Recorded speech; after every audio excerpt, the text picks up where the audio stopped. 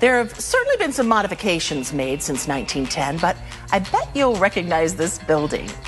It's the train station, the bus station, and back then it was the Michigan Central Depot. This is the view from Rose Street.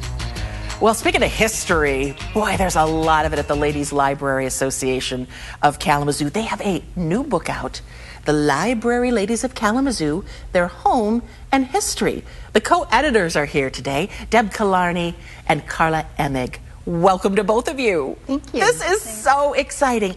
I thought I knew the history of the Ladies Library Association building, but I guess I just didn't know the extent of how impactful and important this is to our nation's history.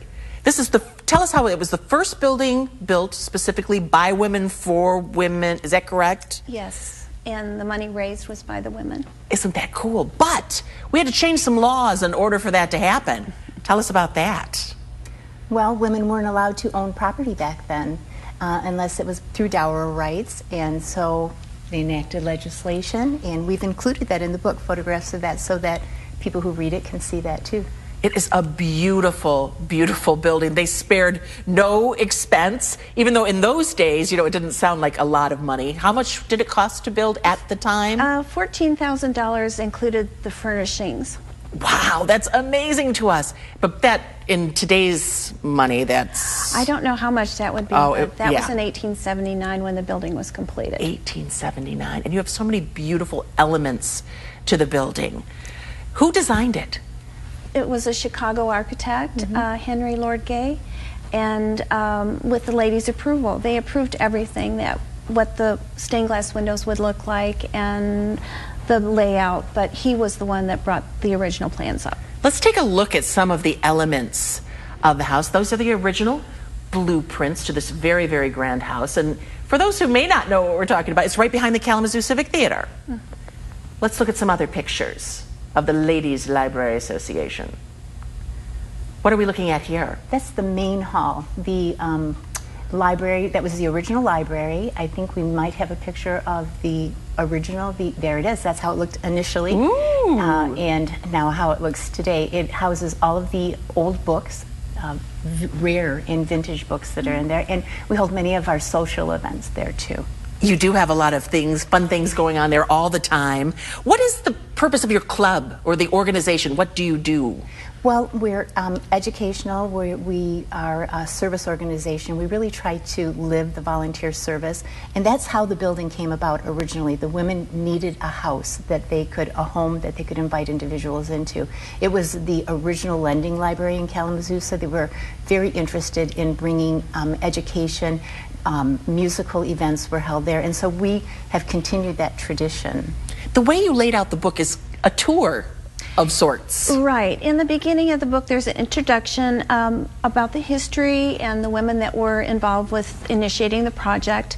And then we, each chapter after that describes the room, what it looked like originally, the details of the room, the tile around the fireplace, for example, in the alcove. So it's a, each chapter goes through each room. And then also the renovations that we've had over the years. The kitchen was added to the building, then the elevator and the new areas were added just this year to make the building um, accessible for disabled people. I love some of the element, the ceiling with the stars. That's beautiful. Is that original? Is that how it was in the original design? It is, and it was my pleasure to photograph um, the book. So I did all of the photographs that are in the in the uh, publication, and I loved the ceiling. Fell in love with it because different times of the day it looks it has a totally different appearance. The sun filtering through the stained glass window dances across the wall in the kaleidoscope of color. That is just gorgeous. I just love it. And you told me a beautiful story about a little girl who came. Right. We had one little girl that was touring with her family, and uh, she looked up the ceiling, and there are gold stars that are painted on the ceiling in the tower. And she wondered what the stars meant, and the tour guide said, I'm not sure what they mean. And she said, Well, I think that they represent all the ladies that were ever ladies, members of the ladies' Aw, library. that is so cute. so that is so sweet. It is. Your book is in hardcover. Yes. You also have soft cover, and it's now out. It's already won awards. yes, it did. It won the uh, Kalamazoo Historical Society Award for the year, only the second book in the history of their awards to win an award. Isn't that great? This was a long time in the making. Um, took us about 16 months.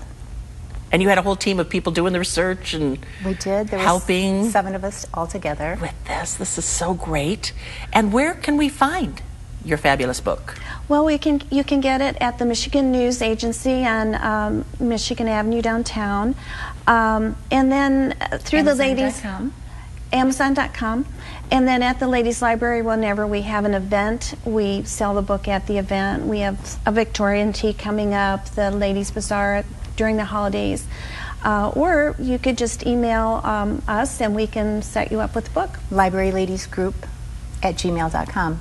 And we are going to be at Art Hop um, at the right. Legacy Center, the Zhang Legacy Center, um, Next Friday. next Friday. Fantastic. You must be so proud of this. You should be. It's an absolutely beautiful book. It was a labor of love. Thank you so, so much for being here and congratulations on it. Thank you. We'll be right back on The Lori Moore Show on your CW7.